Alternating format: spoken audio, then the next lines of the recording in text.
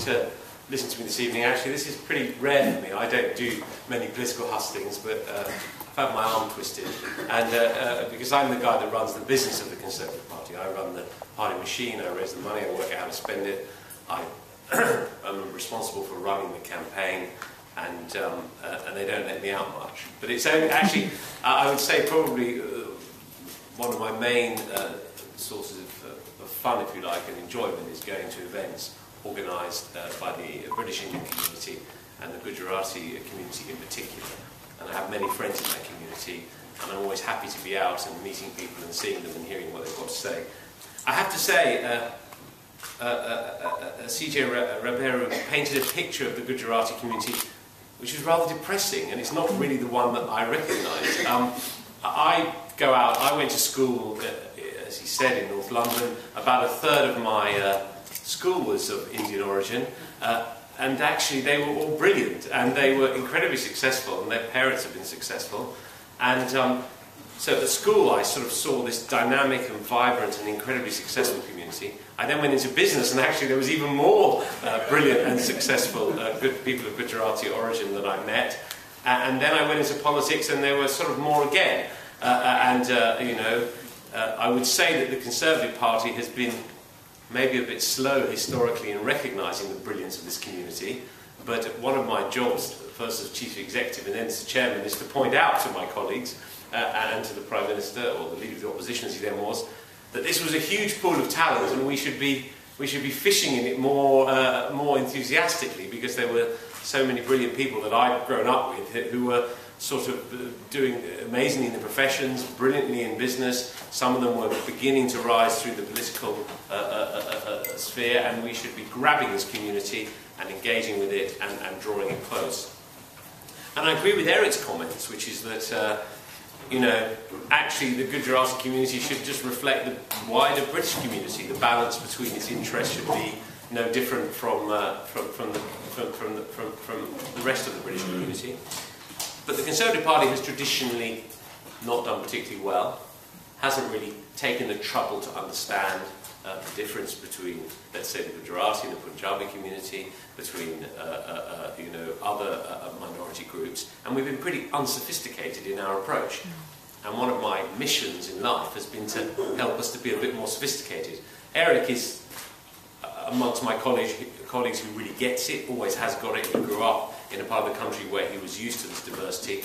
But, you know, if you uh, a Conservative politician who built their career in, in, in, the southeast of England, in the southeast of England or in the Shires, you may well not have had an understanding of the brilliant uh, diversity of this country, and that's uh, an important thing for us to accept and move on.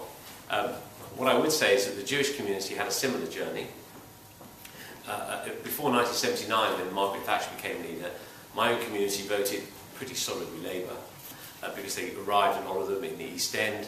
They didn't have very much money. They kind of worked, uh, you know, doing very modest jobs. A lot of them were in the garment business, which unfortunately uh, my family's still in that business. But uh, they, uh, they, you know, they, uh, you know, it was pretty tough life. And it was only as they moved on in their life and became more successful and more established and more confident that they even looked towards the Conservative Party.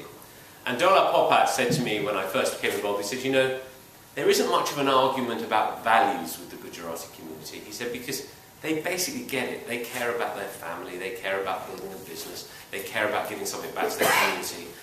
They're basically conservative in their instinct. But you guys, you've got to smile more.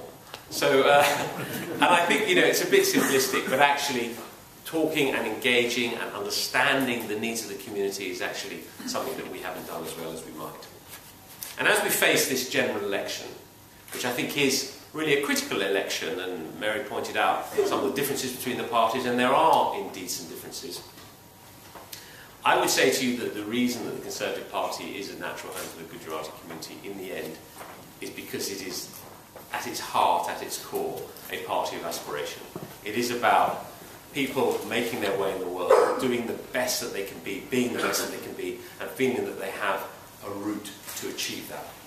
And that starts, you know, with their edu with education. And I think that the uh, academy school program, half of all secondary schools in the country are now academies, has started to transform educational standards, created a more competitive dynamic between the, uh, within, within the state sector, and has actually uh, uh, fostered excellence. And I, I see a lot of schools, some of these academy schools, particularly in South East London, where they've gone from achieving sort of 23% grade A to uh, passes uh, for five good GCSE passes, to sort of 85, 90% result, particularly, as I say, the Harris Academies, which I'm very familiar with. But that is, that, that sort of ra raising of educational standards is absolutely central to the, the journey, to, of, of, of the aspirational journey which everyone should be going to be able to go on. I mean, I was lucky enough to go to a private school because my dad worked sort of 70 hours a week. Uh, uh, my grandparents came from East End and they slept eight in one bedroom. You know, my grandmother was one of eight children, but my father worked hard and built a business and sent me to private school.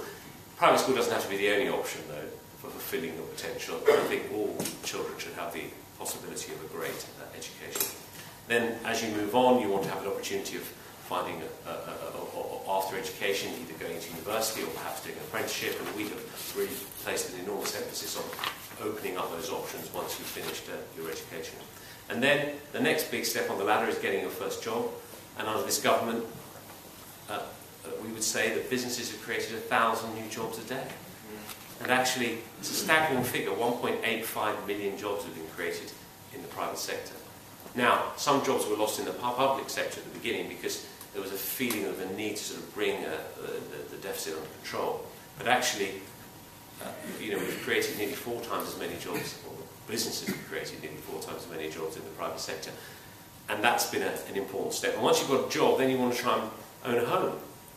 And so this government, I think, has had a very strong series of messages around uh, Help to Buy, about helping to get people on the housing ladder. Help to Buy is a particular favourite policy of mine because a lot of people who were working, even couples who were working, both earning a good wage, at the end couldn't get enough money together. They could pay the mortgage payments, but they couldn't get a deposit together.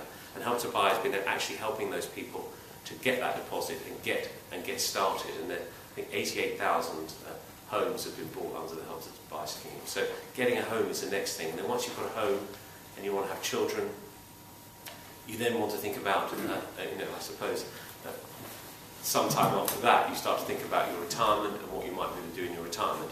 And I think the liberalisation of the, of the of, of pension system, of actually increasing uh, increases in the state pension, and then leading to also uh, liberalisation of those people who save for retirement, liberalisation of the pension system, uh, with people being able to not being forced into buying annuities and having that flexibility. Because if people are sensible enough to save money for retirement, they should have the flexibility they want at the end. And so I think that there is a narrative here, cradle to grave, which is focused on aspiration. And I think that this party, that is why I think there is a natural connection between the Gujarati community and the Conservative Party. We don't always communicate it as well as we could. We don't always talk enough. We don't always smile enough but actually the narrative, the central core of what we believe is thoroughly aligned with what people in this room care about, what I care about, what I grew up with, uh, uh and, uh, uh, and uh, I think that, uh, you know, over time, and if we work hard, we may eventually persuade increasing numbers of the community to believe that and also to participate in the political process. And we, you know, we're proud of our, uh, of our, uh, of our MPs of Indian origin. We'd like to have more. We had a, and, and this is, I suppose, my last remark, and the thing that makes me most proud of being Conservative is that in the safest seat of the country was, was occupied by one William Hague in Richmond in Yorkshire. And uh, they just selected uh, uh, an Indian origin candidate to represent the Conservatives in the safest seat in the country. And I think that that shows that we're changing, that we're understanding it. It's quite an important moment, that, because he didn't get he didn't get selected on the basis of the Indian community in Richmond in Yorkshire. I can tell you, he got he got selected purely on the basis of his outstanding talent, his oratory, his fantastic background in business, and uh, that kind of makes me proud because that is the way that we should encourage uh, this community to feel more connected with the Conservative Party. Anyway, thank you for having me today. As I said, I don't do hustings very often, but I appreciate the opportunity to speak to you. Thank you.